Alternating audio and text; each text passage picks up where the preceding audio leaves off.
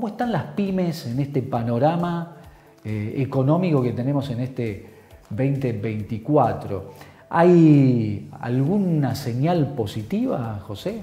Bueno, buen día, Fernando. Buen día, una forma de decir. Em, la verdad, Fernando, que hoy todavía em, estamos en un momento eh, complejo para las pymes argentinas. Em, estamos pasando un proceso eh, de, mucha caída de consumo y por lo tanto mucha caída de venta. que por ahí en el número duro de unidades, eh, en muchos casos ronda 40-50% la caída de venta. ¿Tanto? ¿Tanto? Sí, sí. Por supuesto. En lo que va del año. Sí, nosotros medimos los meses interanualmente, digamos, ¿no? O sea, mes contra mes, de año contra año. Claro, claro. Para hacer una, digamos, para que tenga sentido, porque muchas veces hay rubros que tienen estacionalidad. Entonces, de esa manera, eh, para que sea justo, se mide, este, no mes contra mes, porque a veces por ahí venís de un mes que es de, mucha, de alta estación y al otro mes, entonces se mide así, interanualmente. Sí, eh, en algunos casos sí, por supuesto que hay, hay sectores que, siempre tienen alguna, por ahí algunos sectores no lo está haciendo tan mal o, hasta te diría podría estar crecido, pero, pero son muy pocos. Ahora, por ejemplo, el sector automovilístico del automóvil, eh, de alguna manera con una línea de crédito que está saliendo, eh, empezó como a tener una, subida en las ventas, mm. pero eso es producto del crédito, ¿no? que bueno, que de alguna manera estamos esperando todas las pymes que, empiece a aparecer fuertemente, porque eh, se estaba, ya los bancos empezaron como a, mostrar que hay líneas de crédito, pero bueno, lo necesitamos porque eso también va a generar eh, que de alguna manera haya gente que se anime a invertir. ¿no? Claro, porque en los bancos hay plata. Sin dudas, y más con todo esto que está, este, este intento de desarmar las, letras del Tesoro, la LELIC, la LEVAC, todo esto eh, de, de, estas las letras que se Ese intríngulis que pocos entendemos, ¿eh? yo no entiendo nada. En realidad los bancos le prestaban al Estado con, con este formato de letras y al ir desarmándose eso empiezan a, tener plata que la tienen que salir a prestar ellos. Lo lógico es que los bancos le presten plata a la, gente y a las empresas, tomen dinero y, le presten a las empresas. Entonces, bueno, de alguna manera eso también va a hacer que que vayan a tener que empezar a competir con, el tema de prestar, de prestar dinero. Baja inflación, pero recesión, y eso conspira contra el consumo también, ¿no? Mirá, a ver, la baja de inflación genera cierta sensación en la gente que es positiva. Sí. Después podemos decir de qué manera baja y, por, qué baja y si, está bueno o, está o no es tan bueno. Sí. Em, nosotros creemos que, que el hecho de que, se vaya planchando, porque tampoco tenemos una inflación baja, hablar de cuatro puntos mensuales no, es una inflación baja, ¿está? es baja con respecto a lo que veníamos. Hoy que se estabilice en cuatro puntos, bienvenido sea, pero para que la inflación tenga cierto sentido tiene que estar entre uno y dos puntos mensuales. Vos pensás que tenemos países limítrofes, países de, Sudamérica, que tienen inflaciones de 7, 8 puntos anuales, 10 puntos anuales. Nosotros estamos todavía con 4 mensuales, que bajó un montón, se logró estabilizar, pero que falta todavía que, siga bajando. Ahora sí también es cierto que mucho o parte de esa baja tiene mucho que ver con el enfriamiento de la economía.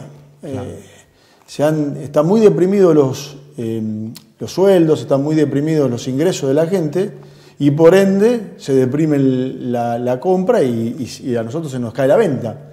Entonces también hay una cuestión de mercado que va llevando a que los empresarios o los industriales eh, bajen algunos costos y, empezamos a... Entonces también es peligroso porque hasta cuánto se puede bajar los costos. Eh, pero, pero bueno, eh, como, como, como, como señal la baja inflación no deja de ser positivo. Lo que necesitamos es que empiece a crecer, la parte productiva, porque los países crecen desde la producción. Cuando, se genera, cuando hay mayor producción, hay mayor, hay mayor cantidad de empleos, porque eso es lo que está pasando ahora. Se está empezando a ver eh, bastante despido. Ayer leí una nota, no sé si no fue en Democracia, que en Acerbrac, ayer en Bragado sacaron 25 personas, eh, hay varias empresas que están sacando gente y el desempleo Es muy, es muy drástico. Son gente que sale del sistema, no gente, familias que salen del sistema, el sistema, eh, del sistema económico, ¿no? O sea, eh, es un tema muy duro el tema del desempleo y eso es lo más preocupante que vamos a tener en este semestre. Ya nos pasó. Sí. ¿eh? En, los 90 ya nos pasó y además se suma a los que se salen del Estado, ¿no? También. desempleo en, general. del Estado. ahora, esta medida que se va a tomar, creo que a partir del lunes, eh, la baja del impuesto país beneficia un poco a, las pymes o a los, los, insumos de las pymes? Eh, yo creo que sí, porque de alguna manera eh, va, va mejor. A ver, beneficia a los precios, básicamente. después hay que ver si tenemos los dólares para poder importar, porque todavía no estábamos tan sueltos de dólares para importar. Claro. ¿Mejoró con respecto al año pasado? Sí. ¿Mucho? No. La verdad que no. Hoy, en vez de pagar a 180 días, estaremos pagando 90, pero cuando vos le vas a comprar a un, a un chino y le decís, salvo que vos ya hiciste una especie de, de, relación comercial y te lo acepten, yo voy a importar, José Molinari arranca una importación y le digo a un chino, mandame 5 containers y te pago 90 días, el chino me dice, anda a comprarle otro. Entonces, eh, de alguna manera, eh, si bien bajamos los plazos de pago, todavía estamos complicados para importar. Entonces, que baje el riesgo país, sí va a mejorar en algunas cuestiones de precios, sobre todo para el consumidor final y, ese tipo de cosas. Pero, pero no, eso no significa que vamos a poder estar eh, importando todo lo que se necesita, porque aparte, cuando hablamos de importación, no hablamos de importación de producto terminado. un porcentaje muy alto de la importación tiene que ver con insumos para la producción. Entonces es importantísimo. Hoy muchas, muchas empresas que producen en Argentina, todas tienen un, porcentaje muy alto de productos importados, de insumos importados. Entonces, bueno, digamos, vamos a ver, vamos a ver cómo, resulta todo este tema de la baja. Al bolsillo de la gente en el corto plazo puede, se puede notar. Bueno, eso es bueno porque también se activa un poquito el, el, consumo. Eh, ustedes se están reuniendo permanentemente con la UNOVA, con eh, el parque industrial eh, de nuestra ciudad, con las asociaciones y demás. Y bueno, esto, estos temas obviamente son permanentes, estas charlas que sí. Mira, primero con el consorcio de parque industrial hicimos un acuerdo para trabajar en conjuntos en conjunto. Eh, la verdad que estamos muy, muy contentos porque es un, es un consorcio que, tiene mucha relación y, un perfil muy parecido a la Cámara nuestra. Eh, ahí hay casi 80 empresas radicadas y la verdad que eh, nos generó un entusiasmo terrible y, y, ya estamos trabajando para empezar a hacer cosas en común, desde capacitaciones, desde asesoramiento. Ha crecido mucho el parque industrial en los últimos años, hay que decirlo. Mucho, ha crecido mucho el parque industrial, sigue teniendo muchas necesidades. Ellos, de alguna manera, también eh, al asociarse con nosotros, o al, asociarse, al, trabajar en conjunto con nosotros, eh, también generan un, otro, otro, digamos, caudal o volumen de, discusión. Entonces, bueno, no, eh, estamos muy contentos con esta, con esta especie de unión que hicimos porque eh, nos, va a, nos va a traer eh, frutos en el corto plazo, así que eso no hay dudas. Y con la UNOVA, Fernando, eh, firmamos un acuerdo marco también para hacer acciones en común. con la UNOVA podemos hacer muchas acciones de capacitación que son muy interesantes.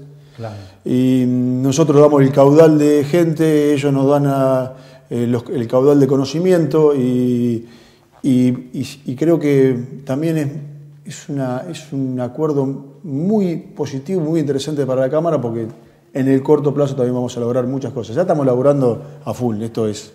Incorporar alguna, alguna carrera que tenga que ver con lo que ofrece Junín a nivel industrial, también este, se ha charlado con, con la UNOVA. Son temas que se charlan, que se debaten, que se analizan. La UNOVA tiene una apertura muy importante para con las cámaras. Eh, hay que reconocerlo que tiene un sector que, está especial, digamos, que, se dedica a ese tema. Y, seguramente si en la medida que vayan surgiendo necesidades, y no tengo dudas que, se, que la, UNOVA, se va a terminar ayornando las necesidades para, generar ese, ese, conocimiento. Con el tiempo Junín ha cambiado, eh, creo, ¿no? Eh, por el crecimiento del parque industrial y demás, por lo que estamos charlando, ha cambiado eh, esa matriz que tenía de solo servicios, quizá no ser una ciudad tan industrial, este, pero eso obviamente está, está revirtiéndose un poco, ¿no? viene cambiando. Creo que, creo que hay mucho más por hacer. Creo que estamos más cerca del, del, piso que del techo. Claro. Creo que tenemos muchísimo más por crecer. Y Junín, porque Junín tiene algunas condiciones que, que, no, que no muchas ciudades lo tienen, ¿no? El nivel, digamos, dejamos de lado la ubicación geográfica, que estamos a 200 kilómetros de Rosario, a 200 kilómetros de un puerto, a, 260 del otro, eh, que Buenos Aires. Eh, las rutas nacionales que nos, que nos rodean, que nos, nos circunscriben. Em, ha crecido muchísimo el clúster de salud en Junín, hay muchos médicos de afuera.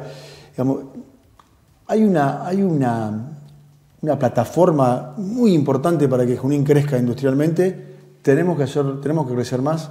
Te repito, estamos más cerca del piso que del techo.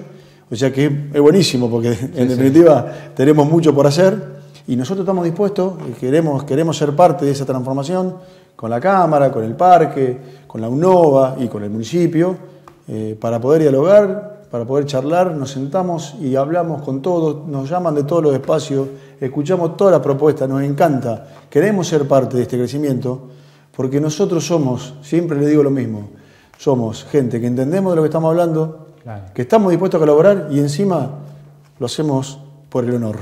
Le salimos, somos, los, somos los profesionales más baratos que tienen todos. Eh, José, muchas gracias por este contacto, por, esta charla y además siempre destacar que las pymes son las grandes generadores de, trabajo, Mira, puestos de trabajo. No tenga la menor duda, la pyme. Cuando yo hablo de pyme hablo de la pequeña y la mediana empresa. Yo no, no hablo de los Asindar, de los de los Paolo Roca y Techín, hablo de nosotros, las pymes familiares, las pymes del interior, las que nuestros trabajadores son compañeros de trabajo, que los conocemos, que sabemos los nombres, que sabemos quiénes, cuántos hijos tienen, que los defendemos, que, echar una persona para nosotros es dolorosísimo, que lo respaldamos. Esa, ese sector genera el 80% hoy del, del trabajo en Argentina, el trabajo privado en Argentina. Yo mira, eh, en cada entrevista que he hecho en, estos años aquí en, el noticiero he escuchado a todos los políticos hablar que van a beneficiar a las pymes. No nos están beneficiando. Yo creo que tienen que hacer un esfuerzo. Eh, es largo de, debatir, pero creo que tienen que hacer un esfuerzo, tienen que apuntar ahí, porque se crece con producción, se crece con empleo, se crece con trabajo, con trabajos dignos, con trabajo que, dignifique a la, persona y a la familia, con buenos ingresos, se crece por ahí. No le busqué la vuelta. Eh, nos tienen que cuidar, nos tienen que escuchar, nos tienen que acompañar. Gracias, José. y feliz día de la industria. ¿eh? no sé si incluye a todas las industrias. Nosotros, a todas las industrias, nosotros. Pero tienen un día especial las pymes también, eh, nosotros somos, estamos en el, Sindicato de Empleo de Comercio pero somos proveedores de industria. De industria. Nosotros, nosotros brindamos servicio en la industria, porque le vendo a muchísimas industrias de Junín. Entonces, nosotros el Día del Empleo de Comercio es el 27 de septiembre, creo que viene ahora. Eh, pero somos parte del sistema industrial porque le vendemos servicio en la industria.